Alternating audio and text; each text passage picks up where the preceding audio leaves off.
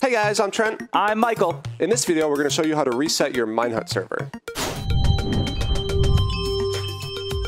Okay, so we're in game, and the problem is somebody came on the server, they went in creative mode, it's supposed to be a survival server, and they mm-hmm. just built a bunch of diamond stuff, and we just, we, we don't like where the server's at right now. Unforgivable. And we want to delete it, but we don't delete it exactly, we just want to start over. Okay. We're on our server here, and then we need to go over to the panel. The panel being minehut.com slash panel. Yep, so I have activated, activated my server. We are already on it, and now I am back over here. I'm gonna go into, I'm gonna go in and stop the server first. So we're just gonna stop it. We're gonna wait for it to finish stopping. Yeah, and you can see right above us, that's going to change. Oh, there we go, that was quick. Okay, so we're back on our dashboard. The server has stopped, and then on the very bottom left here, we're gonna go over to the danger zone. It's Not the danger zone. scary place, but here it is. So very bottom left. And then we are gonna go over to the card on the far right. It says reset server. Completely deletes and resets your entire server. Sounds dangerous, sounds scary, but we're gonna do it. We're gonna reset. It's gonna ask us to make sure. Are you sure? Just tell me when it's over. Okay. It cannot be undone. And that's it. Okay, there we go. So what that did That was is it easy. just deleted all the files that were in the server. So when we start it again, it will just be fresh. So we're back on home. So we went back to the top one. Top left. Yep. And now we are just going to start our server because it's still offline. Mm-hmm. So we're going to hit start.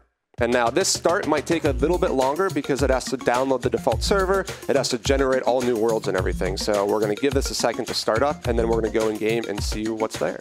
So everything that we made is gone. It's going to be a whole new seed, a completely unrecognizable map, right? Yep, it's just like it's like you started a fresh server. So it will yeah, be all new stuff. We don't know. We didn't set the seed, so it's just going to be something completely random. But you get to keep your server name.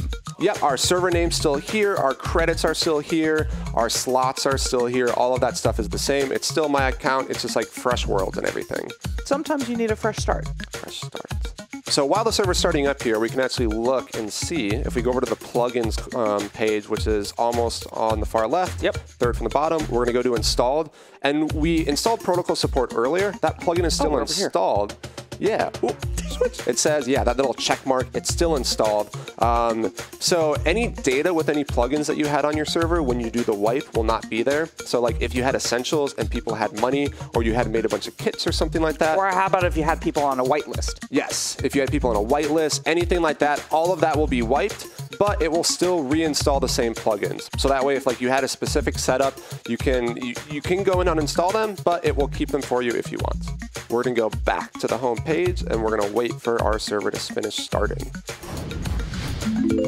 Oh, that's the sound. Ding, ding, ding. Okay, so now we're gonna go back in game. We're back in the lobby here since we shut down our server. So we're gonna type join minehut tut. We're gonna load in. And here we are. Whoa. Our diamond house is gone. Our island is gone. Our cows are gone. But now there are mushrooms. It's a fresh server. So there you go. That's how you reset your Minehut server.